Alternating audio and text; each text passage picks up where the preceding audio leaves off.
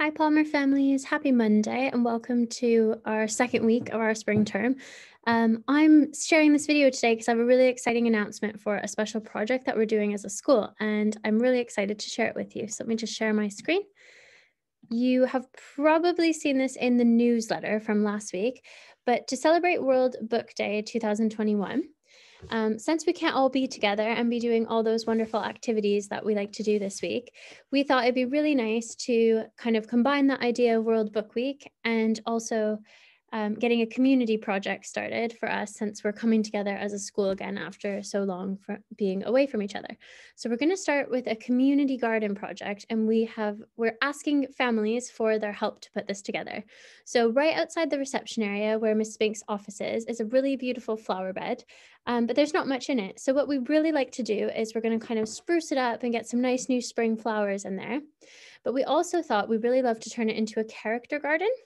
So we're asking families at home if you want to, it's completely voluntary, um, but we'd really appreciate your help if you want to work on a special project with us this week. So you will need a wooden spoon from home and some things to help you decorate that wooden spoon with to help us with this project. So we're looking to create a character garden. So any character from your favorite book, your favorite character, um, and we've got lots of ideas for you that I'll share as well um, you can create your own very own wooden spoon character. And if you can bring it into the school and give it to Mrs. Binks in reception, then we'd be really happy to add it to our garden. So what we'd love to see after this week is that we have loads of different characters and we can pop them all in our garden and make it look really beautiful with all of our creations. So I have some lovely examples um, of some characters that have been made with wooden spoons already. So you can see right on my screen, we've got the beautiful cast of the Gruffalo. Um, and I think this is all done with just a little bit of um, foam and paint. So really creative.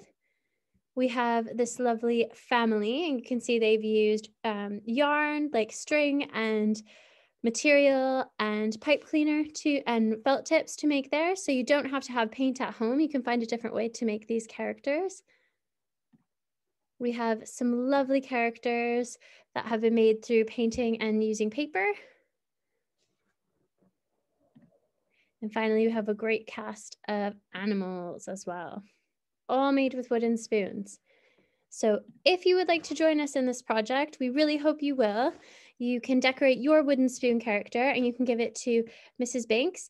Um, you can drop it off this week sometime in the office, or you can bring it with you when you come back to school on Monday and we'll be really, really excited to see you and to see what you come up with. And I know we can make a really special, wonderful community character garden. So have a think about who your favorite characters are from your favorite books and how you could maybe be really creative and make that into a lovely spoon character at home. And we can't wait to see what you come up with and we can't wait to share it all together. So thank you very, very much. Um, please join us. And if you have any questions, just give the school a little ring and I'll be happy to answer them. But yeah, it's not mandatory, it is voluntary, but we'd love to have you involved. So um, please help us. Thanks. Bye.